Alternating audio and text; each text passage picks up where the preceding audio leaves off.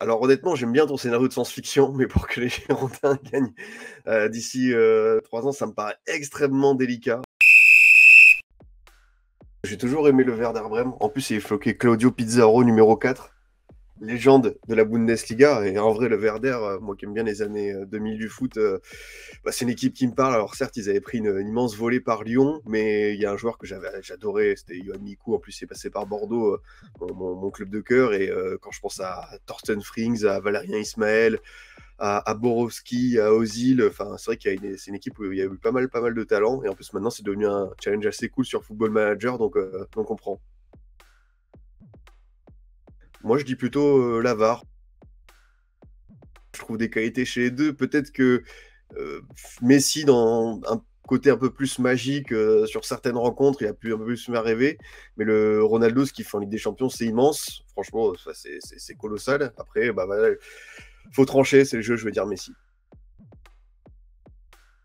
Ça, je veux dire quand même le gamin du club, Chamac.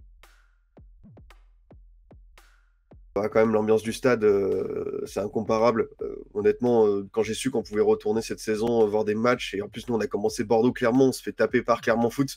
C'est là qu'on avait déjà conscience que ça va être une saison compliquée. Mais rien que le fait d'aller au stade, de sentir cette atmosphère, de, de, de, chanter, de, ressentir un peu cette adrénaline, ça m'avait trop manqué. Et cette saison, même si ça a été compliqué à Bordeaux, j'ai fait trois quarts des matchs.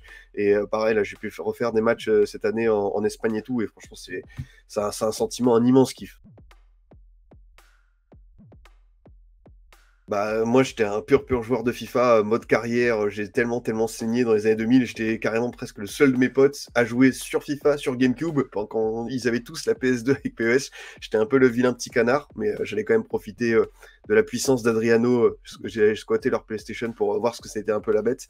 Et en ce moment, c'est full Mario Strikers parce que je trouve que le, jeu est assez dynamique, plaisant avec un pote. Full Mario Strikers, Waluigi, Harmony, Wario, Bowser, le quatuor gagnant quoi qu'il arrive.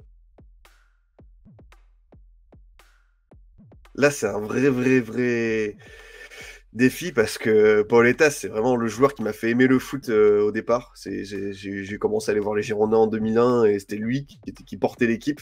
Donc forcément, bah, premier amour et ça reste. Et chez Gabaté, il y avait un truc aussi, c'est que bah, tout le monde décrivait comme quelqu'un de maladroit, de, de, pas fin, mais finalement, il mettait, euh, il mettait à chaque saison sa dizaine de buts.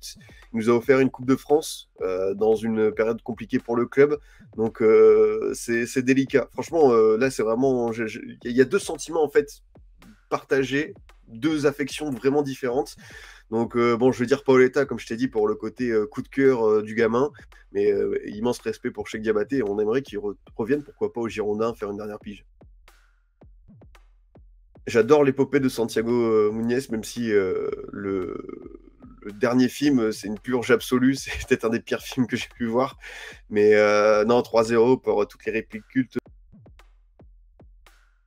au cage, je vais mettre euh, Petr parce que même s'il n'est pas resté très très longtemps en Ligue 1, j'aurais pu mettre un, coupé, c'est vrai que, ou même un Flavio Roma, mais Petr Sech, à Rennes, il m'a vraiment marqué. Je vais mettre un peu deux milieux de terrain qui savent redescendre et tout. Je vais mettre Fernando Menegazzo des Girondins, qui savait à la fois être fin, mais aussi être un peu mettre la petite semelle, faire des fautes, et après s'excuser comme ça. Pour l'accompagner, je vais mettre euh, Seydou Keita à côté, parce que récemment encore, en revoyant des images de, de Ligue 1, de Bollard, du RC Lens, quel milieu de terrain c'était. Franchement, il était J'aurais pu mettre Michael Essien, j'ai hésité aussi. Après, pour euh, mon duo offensif, je vais choisir un, artiste, forcément, euh, Michael Pagis. C'est le genre de joueur un peu lent, mais qui savait tellement être efficace sur une touche de balle, qui savait toujours le bon geste, la bonne passe, le dribble, la frappe. Et pour terminer, euh, voilà, je, suis obligé de le mettre pour avoir Paris revu des images de lui à l'époque à la JOCR, c'est Djibril Cissé, quoi, parce que la, puissance qui montre, le, buteur que c'était, le côté spectaculaire, le côté finisseur, le Djibril Cissé de la JOCR, je pense qu'il est incontournable.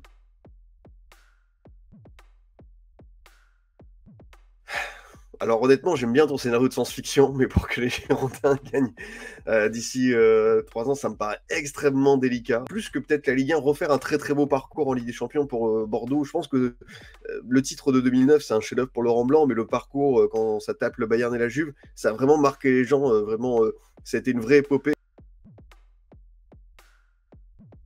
Football Manager, évidemment, c'est le, coup de cœur de ces dernières années. C'était le gros gros jeu du premier confinement.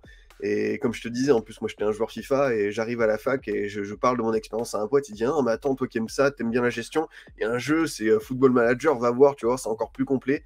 C'est comme ça que je me suis retrouvé à passer mes nuits euh, de deuxième licence, euh, aller chercher le Scudetto avec Palerme, avec Andrea Bellotti et Paolo Dybala. Donc, ça m'a tout de suite pris. Et depuis, chaque saison, je fais une petite carrière, deux, trois petites carrières avec des petits clubs pour me faire un petit challenge. Mais ouais, Football Manager, large moi, j'étais un peu trop jeune, malheureusement, pour connaître vraiment le, grand Bordeaux de Bop. Donc, euh, c'est plus les souvenirs qui vont parler. Laurent Blanc. Je pense que Eli Bop, euh, il a, mérite euh, sa mention parce qu'il a souvent été catalogué par la suite comme un entraîneur défensif. Et son Bordeaux, bah, il jouait, il proposait du ballon. J'ai revu des images, que ce soit le Quatuor, Feinduno, Savio, Poeta d'Archeville, bien sûr le Benarbia, Wittord, la Mikou. Enfin, ça envoyait du jeu, c'était spectaculaire, c'était attrayant. Et malheureusement, après, par la suite, il s'est peut-être un peu enfermé dans certaines convictions et ça l'a éloigné de ça. Et pourtant, je crois qu'il vraiment qu'il avait des qualités qui proposaient vraiment du jeu. Et c'est dommage. Et euh, Laurent Blanc, c'est vrai que son, Bordeaux jouait très bien. Son Bordeaux pendant trois saisons, euh, il y a eu évidemment des gros, gros moments de bas comme euh, la fin. Mais sur, sur la durée, quand même, c'était trois saisons réussies avec, avec des joueurs qui, ont été, qui ont été au top. Et lui qui a su vraiment bien faire sa transition de, de joueur-entraîneur, il était attendu, c'était son premier défi. Et honnêtement, il a parfaitement réussi. Ça, c'est très, très, très dur. Là, c'est vraiment. Je suis dos au mur. Je vais quand même dire. Ah, ça, me, ça, me tue de le dire. Hein. Mais je, je, vais dire Gérard Lopez parce que. Il y a. Je sais même pas pourquoi je dis ça, mais c'est vraiment. C'est vraiment la peste ou le choléra, comme on dit. Mais les longues épées, ça représente vraiment une, forme de, d'éloignement des supporters, de grosses divisions, de presque relégation. Je sais que je vais avoir des problèmes en disant ça, mais on va on va dire Gérard, Gégé Lopez.